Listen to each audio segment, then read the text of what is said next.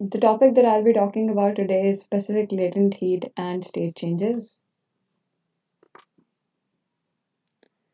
So, before getting into uh, the specificities or the definition of what exactly latent heat is, um, it's really important to understand the concept of how a state is changed and what processes it goes through. So, let's say we're taking the example of a solid. When a solid is heated, it may melt and change its state from solid to liquid, right? Um, if ice is heated, it becomes water. Now, this is common sense that we, if we think about putting a block of ice in, let's just say, outside in sun, uh, we do expect it to melt and become into uh, and turn into water. So that is what we call melting. But you know there are some technical uh, technical terms or technicalities between it of how it exactly happens. And if it ha- happens at a, one specific temperature or can it happen at over a range of temperature. The opposite process freezing occurs when a liquid solidifies. Similarly if we put a glass of water in uh, let's just say a freezer for some hours we do expect it to turn into solid. So that is freezing. A pure substance melts at a definite temperature called the melting point. It solidifies at the same temperature, sometimes that is called the freezing point. Now, this is really important to understand that what exactly is going on in here. Uh, when it says that it melts at, this, at melts at the same temperature and that it freezes at the same temperature or at the same freezing point too. So, during solidification, a substance loses heat to its surrounding, but its temperature does not fall. Now, over here in this example too, we are talking about solidification, which can also be referred as uh, freezing, or you know, I mean that that's what um, it's commonly called um, solidification, or let's just call it freezing, right? So over here we have initially have this solid substance, and then uh, sorry, a liquid substance, and then it freezes, and then it turns into a solid. So that is how exactly it works. This is called the melting point, but we can also refer it this this over here. It's called melting point, but we can also refer to it as um, freezing point. So if I refer to it as freezing point, it will be completely okay. Freezing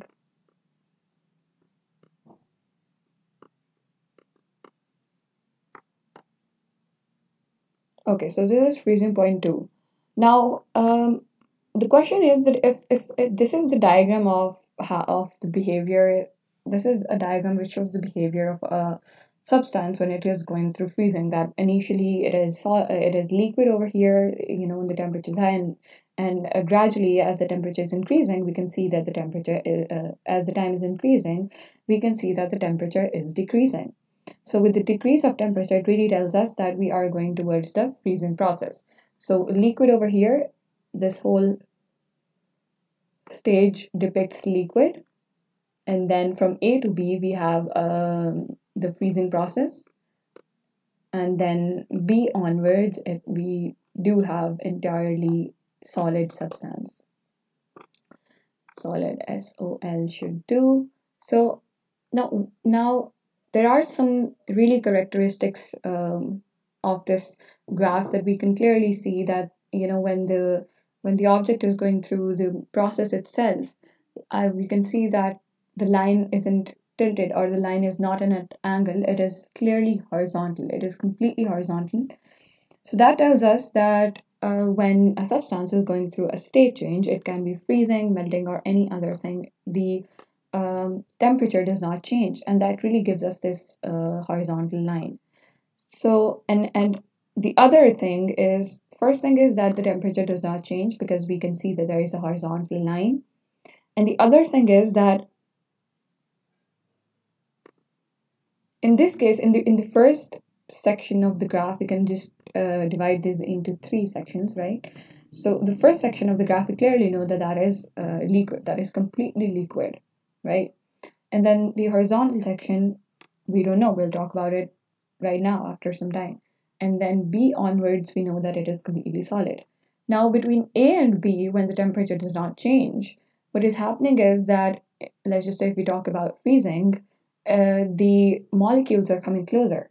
Some of them are already there in the solid phase, that they are closer together, that they can they are in the solid uh, phase, and some of them are not there completely yet. They are in the liquid phase, or they are getting that energy, you know, or they are sorry releasing that energy because when the uh, when in, during freezing energy is released and during let's just say melting they take an energy. So so so this is basically what's happening. So this is this transition phase. Uh, when a substance is melting or it's going through some state change it is a transition state. And we can't really write if if if, if we have completely liquid over here or we have complete solid over here however i can completely write that over at point a it is completely liquid and it and at point B and point B onwards it's completely solid. But between those two uh, these two points, it's transitioning between them. Some of them is liquids, half of it or half of it not. You know there isn't any proportion uh, that we can specify, but you know some of it is liquid, some of it is solid. So during solidification, a substance losing heat uh, loses heat to its surrounding, but its temperature doesn't fall. Conversely, when a solid is melting, the heat supplied does not cause a temperature rise. Heating, heat is added, but the substance does not get hotter. Now, the reason why the substance does not get hotter is because that energy is basically being utilized to break the bonds, to break the energy bonds. Uh, because uh, when a substance is in, let's just say, le- when a substance is basically in liquid form, and we have to convert it into, let's just say, gas form, so it, there are some uh, there are some bonds that need to be broken because when a substance is in liquid form, it has some it has some intermolecular forces between them. There are some bondings between them, but when they are solid, they're com- uh, when they're gas. I'm sorry, when they're in gaseous form, they're completely free from all these intermolecular forces, and uh, the heat that we apply to it basically basically overcomes the intermolecular forces that were in between them. So, although we are adding heat, the heat is not being used to cause a temperature rise, it is rather being used to break the bonds between the particles or the molecules itself. So, for example, a temperature of a well stirred ice water mixture remains at 0 degrees until all the ice is melted. Heat that is absorbed by a solid during melting or given out by a liquid during solidification is called the latent heat of fusion.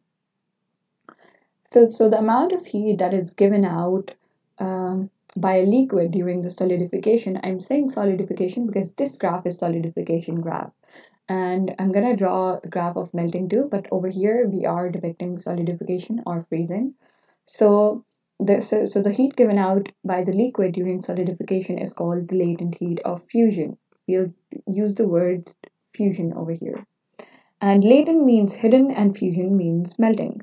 So it's really also important to understand that the heat given out by the liquid to turn into solid will be equal to the heat absorbed by the uh, by the solid to convert into liquid. So they're both uh, the same amount. The the difference is that when it is converting from uh, solid to liquid it uh, the substance absorbs heat. However when it is the opposite process that when it that when the substance is um, solidifying or it is converting from liquid to solid it gives out heat. So the latent heat does not cause a temperature change so it seems to disappear. Because we can't really observe that kind of uh, you know the the effect that it has the heat that we're being that we are supplying to it since it's working on the intermolecular scale so we call it hidden. So that's why the word latent means hidden and fusion means melting and that's how we get this terminology. So yeah. So i, I said that i'm going to draw the diagram of this is the di- these are the diagrams of uh, sorry this is this graph is the diagram of freezing or solidification. But if i have to draw the diagram of melting it's not going to be the same. The heat required to convert that amount of solid into liquid is going to the same going to be the same but it's just going to be you know in the opposite direction that initially, or maybe it does not start from origin. Why did I assume? Obviously, it doesn't start with the origin. Temperature might not be zero. Let's just say yeah. So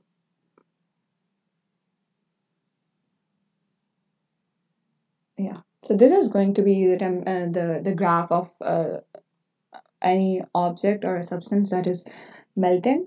So and you can see that the the common thing or the common part is that the melting or the freezing transition stage is the same so in this case this first portion is basically uh, solid and then this portion is liquid because uh, i'm depicting melting over here and between a to b again we have the same thing that it is melting so it, it can be both uh, towards the b point it is it might be more solid and towards the A point, it is more of liquid form. But we can't really say, you know, of how much it is liquid. There are ways to basically uh, scale that, but that's not in the scope of this syllabus.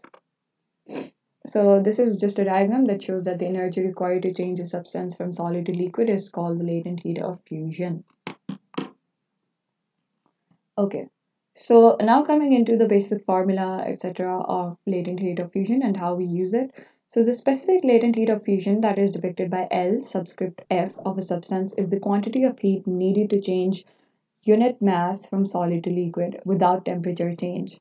So uh, the reason why we have unit mass over here is because the word specific in physics always refers to a property of a material or a substance. So so we measure it in terms of unit mass. So the amount of heat that is required for a substance to change its unit mass of solid to unit mass of liquid without any temperature change is called the specific latent heat. Um, the units of specific latent heat are joules per kilogram or joules per gram, depends on what unit mass you're taking. If the unit mass is of uh, if the unit mass is of kilograms, then we use kilograms, and if it is grams, then we use grams. In general, the quantity of uh, heat Q to change a mass m from solid to liquid is given by m multiplied by the uh, LF or latent heat of fusion. It's really simple to uh, you know really know that if if you know this is a property which is basically joules into gram joules divided by kilograms. So if we want a quantity in joules, we just need to multiply it with mass. So that's exactly what we're doing. That if we want the amount of heat for a specific mass of substance that it needed to convert from solid to liquid, we just multiply the latent heat of fusion with the amount of mass and we get the heat. Okay, as you've studied the spec- uh, specific latent heat of melting or specific latent heat of fusion, etc., uh, similarly, we do have, since we have other uh, state changes processes too, like uh, vaporization or, uh, you know, uh, condensation. So, similarly, for them, we have specific latent heats too. So the specific latent heat of vaporization is the latent heat uh, that is also needed to change a liquid into vapor. Uh, the reading of a thermometer placed in water that is the reading of a thermometer placed in water that is boiling remains constant at 100 degrees. Uh, it remains constant at 100 degrees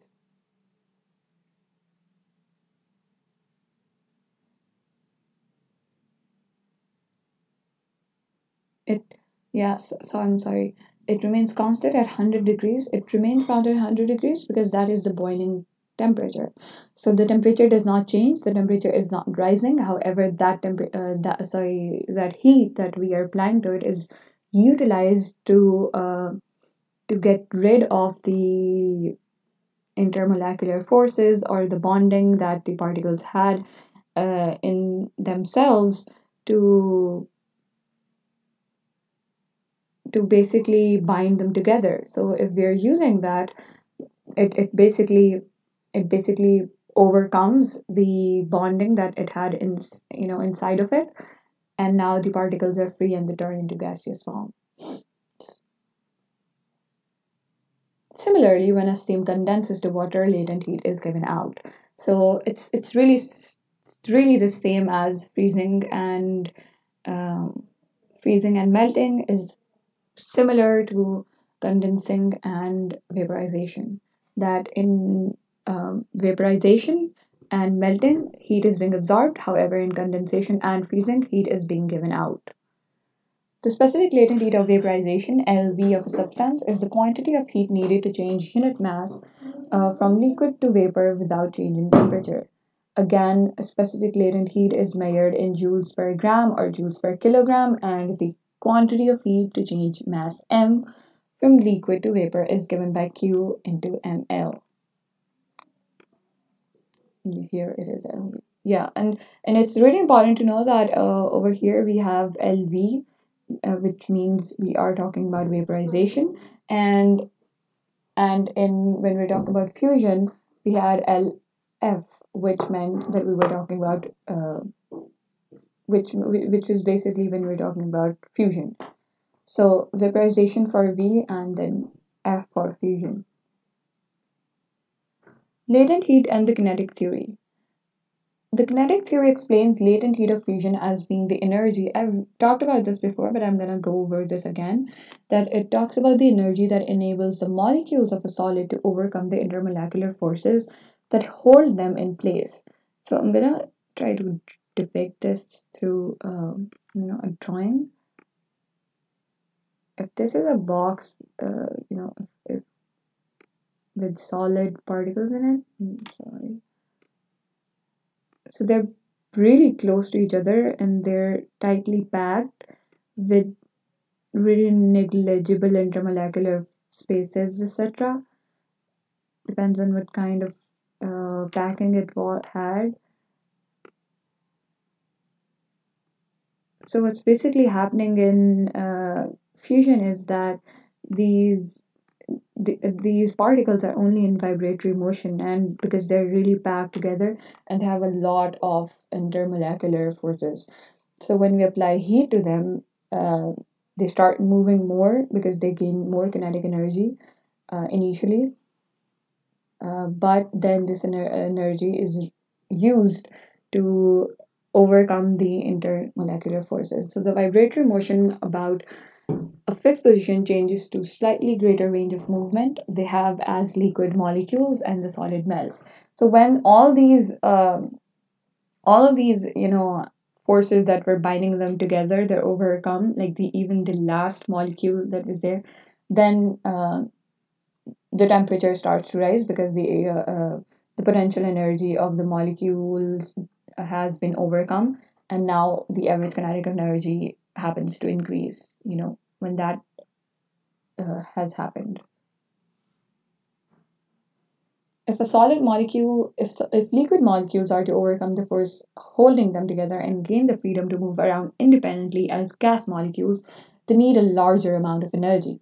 They receive this as latent heat of vaporization like the latent heat of fusion increases the potential energy of the molecules, but not their kinetic energy. It also gives the molecules the energy required to push back the surrounding atmosphere in the large expansion that occurs when a liquid vaporizes. So, in this case, the same situation is happening that initially we needed uh, solid forces so that they can, you know, uh, turn into liquid. Now we even need more, you know, more amount of heat so that it can just move around independently and they have no forces whatsoever that are binding them together. And apart from that, it also needs more energy to push back to the surrounding molecules of the temperature of uh, or the particles of the atmosphere or the air that are surrounding them to as they largely expand since the volumes of gases are so much larger than the volumes of liquid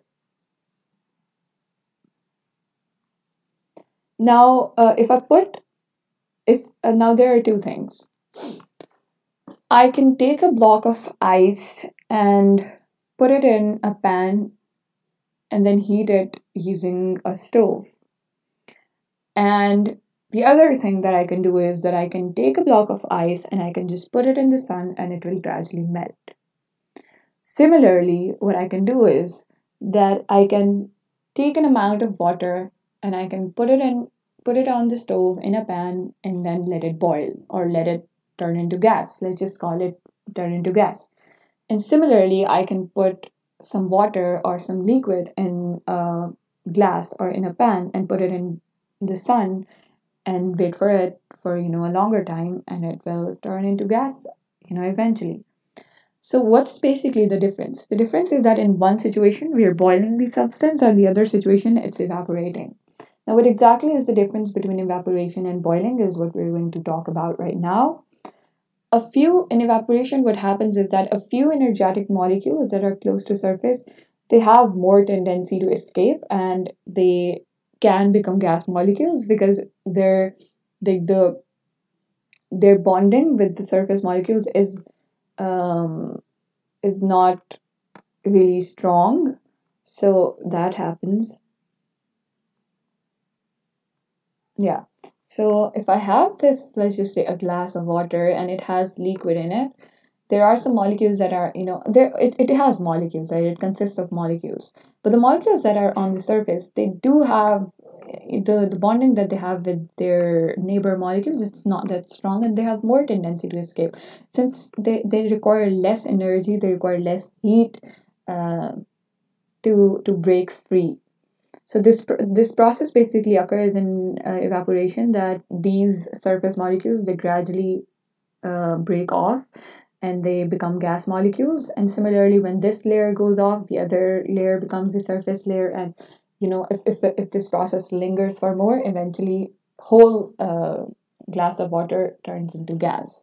So this process occurs at all temperatures and it's called evaporation as we've already studied the vaporization or boiling occurs at one specific temperature, this is not the case in evaporation. Evaporation can occur at any temperature and it happens more rapidly when the temp now these are some factors that basically accelerate uh, the, uh, the evaporation. Number one is when the temperature is higher. So obviously when the temperature is higher that means the molecules are already moving fast they have higher uh, kinetic energy and they have more tendency to escape or break free their bonds the other is that the surface area of the liquid is large. That is also again the case that if the surface area is large, that means more molecules have uh, the tendency to escape, or more molecules have the have the capacity to just take in small amount of heat and just you know turn it turn into gas molecules. And the other one is a gas or uh, sorry a wind or draught is blowing over the surface, carrying vapor molecules away from the surface thus stopping them from returning to liquid and making it easier for the liquid molecules to break free. Again, this is really self-explanatory that uh, that the the particles that were on the surface that had the tendency to escape, they will they, they it will be easier for them to escape if there's a wind that will carry them away. This is just a diagram that shows melting that is happening uh, due to sun and it's not happening on some stove or some uh, controlled environment. Similarly, um, boiling, as we've talked about evaporation first. Now, the difference between boiling and evaporation is now what is clear over here that boiling happens for a pure liquid. It occurs at a definite temperature that is called the boiling point, and it doesn't occur on a range of temperature. It is accompanied by bubbles, as you can see in this um, clip, and they form within the liquid containing the gaseous or vapor form of the particular substance. Latent heat is needed in both evaporation and boiling, and it is stored in the vapor form, which is released when the vapor is cooled or compressed and changes into liquid again. As we've talked about, now we're going to talk about condensation and solidification. These are the two processes that basically uh, in which heat is given out. This is, um, you know, uh, a depiction that basically shows that condensation of steam. It is easily achieved by just contact with a cold surface that uh, as it happens on this cold window pane, it, it, it just directly turns into uh, this runny water so in condensation, uh, a, a gas changes to liquid state and latent heat of vaporization is released. And similarly, in uh, solidification, heat is again released, but from a solid, uh, but when a liquid is changing into solid. In each state, uh, in each of these cases, the potential energy of the molecules decreases Now, uh, this is another topic that needs to be discussed uh, that is related to evaporation. That uh, evaporation, in evaporation, we are giving the substance some heat that it needs, uh, that is needed for the particles to basically break free or get the energy that they needed to overcome their intermolecular forces. However, there is a physical effect that can be observed, which is that there is some cooling that happens when a substance is going through evaporation. So, the explanation is that evaporation occurs when faster moving molecules escape from the surface of liquid. The average speed and therefore the average kinetic energy of the molecules left behind decreases. The temperature of the liquid falls. Anybody in contact with an evaporating liquid will be cooled by the evaporation. So this is really uh, again self-explanatory that um, you know the faster molecules or the high energy molecules when they escape, obviously the overall average kinetic energy decreases, so there is a cooling effect for some time. The uses are really uh, fascinating with this one that the water evaporates from our skin when we sweat and we can feel this cooling effect. This is the way of body uh, body losing unwanted heat and keeping a constant temperature. That is how our homeostasis occurs. That our body maintains this temperature through sweating, and uh, you know the cooling effect is a part of it. After vigorous exercise, there is a risk of body being overcooled, especially in a drought. It is then less able to resist infection Ether acts as a local anesthetic by chilling as well as cleaning your air your arm when you're having an injection.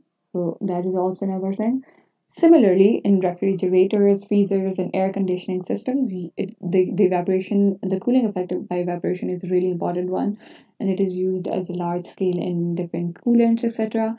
And volatile liquids, they also have this, uh, you know, they also, the perfumes, they have these volatile liquids uh, because uh, you know they can evaporate easily and they also if you put some deodorant on your skin or after taking a bath you can observe this uh, you can observe that that happens or you can observe cooling. So this is it for today. Thank you so much